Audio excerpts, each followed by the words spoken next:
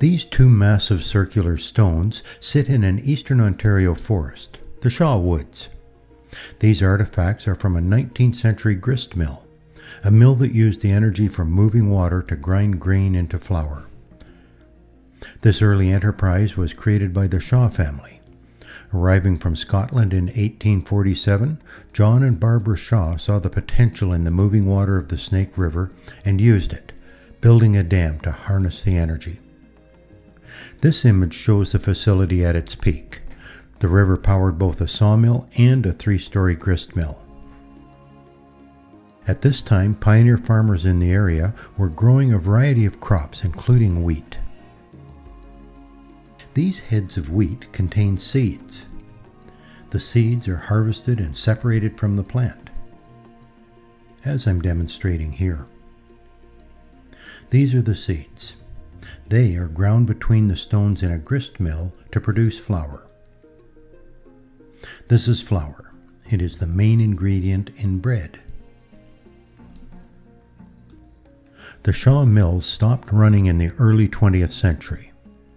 The forest has reclaimed the landscape. But look closely and you will find evidence of this early enterprise. Evidence like this section of stone foundation wall. And the raceways, canals that moved water into and away from the mills. Today, the old mill site and adjacent old growth forest is home to the Shaw Woods Outdoor Education Center. Open to the public, the site has an extensive network of walking trails and interpretive signage. Details about the site can be found at shawwoods.ca. There are very few water powered grist mills still operating in North America, but there are a few, and this is one of them. Named Watson's Mill, this grist mill is located in Manotick, Ontario. It was constructed in 1860. Amazingly, 155 years later, it still grinds grain into flour. The Shaw grist mill would have operated in a very similar fashion to this one. Let's take a look at its operation. Like the Shaw mill, the energy to drive the Watson mill comes from the force produced by the hydraulic head of water contained behind a dam. This water drives turbines located in the basement of the mill. The water travels from the mill pond through control gates that are connected to the turbines. We'll go down into the basement.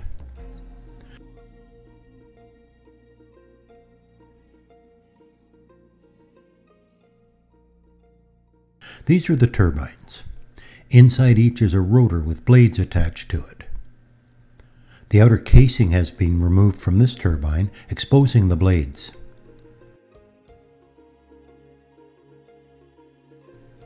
This structure contains the gate that controls the water. The shaft extending from it is connected to a wheel on the first floor. This wheel is turned to open and shut the gates. Power from the turbines is transferred through the rotating shaft that extends from each one. This mill has six turbines.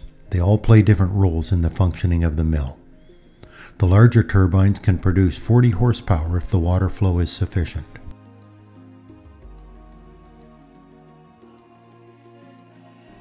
The process works like this. Dried grain, in this case wheat, is dumped into a hopper on the first floor. The wheat flows out of the bottom of the hopper and is picked up by an elevator, a series of buckets that carry the grain to the third floor. This elevator is powered by one of the turbines in the basement. We are now inside the third floor of the mill. On the third floor, the wheat is dumped out of the elevator into a large storage bin called the garner bin.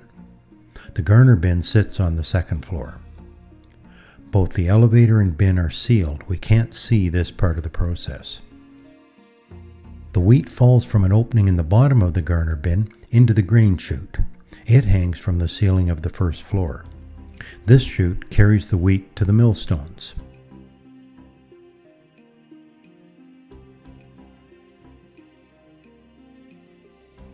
There are two large circular millstones inside this structure.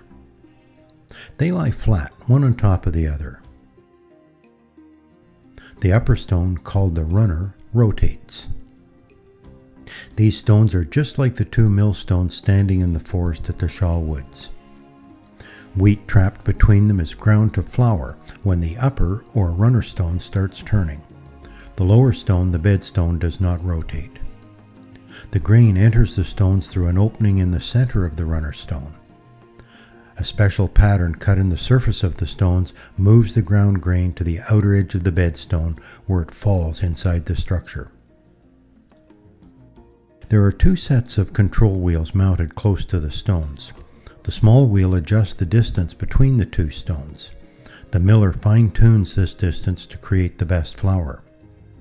The large wheel controls the gate that feeds flowing water to the turbine that will drive the runner stone. Before opening the gate to start the turbine, the miller primes the stones with handfuls of wheat. This is to prevent the stones from running dry, creating sparks and possibly damaging the stones. With the stones primed, the miller now turns the large wheel to open the water gate. In the basement, water starts to flow, hitting the blades of the turbine. The runner stone starts to turn. The grain is crushed between the stones, creating coarse flour. The flour at this point in the process is actually called grist. That is why this building with its machinery is called a grist mill. The grist requires some more processing before it becomes flour. Managing the stones is a critical part of this process. The rate of rotation and gap must be carefully adjusted to create the best grist.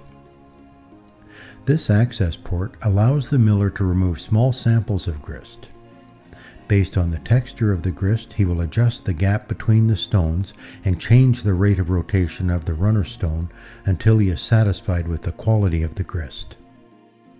This warm, moist grist that is falling from the stones is directed towards an elevator where it is carried to the third floor. On the third floor, the grist is dumped onto one end of a rotating auger. The auger moves the grist along, cooling and drying as it travels. The grist falls from the end of the auger into a machine on the second floor. This is the bolter. This machine separates the flour from chaff, bran, and other debris. Flour falls from the bolter through a chute onto the first floor where it is bagged. The bags of flour are ready for use. So that covers the basic operation of a grist mill. More information about Watson's Mill, including hours of operation, can be found at watsonsmill.com. I'll leave you with some sights and sounds from the mill.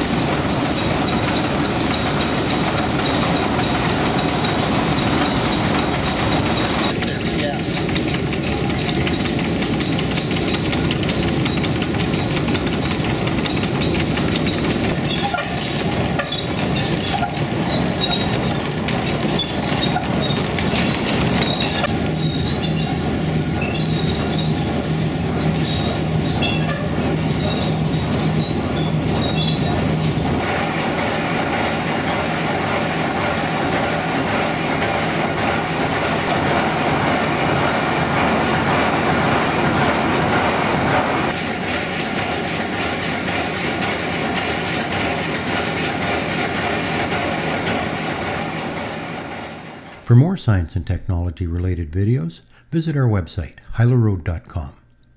Follow the videos link.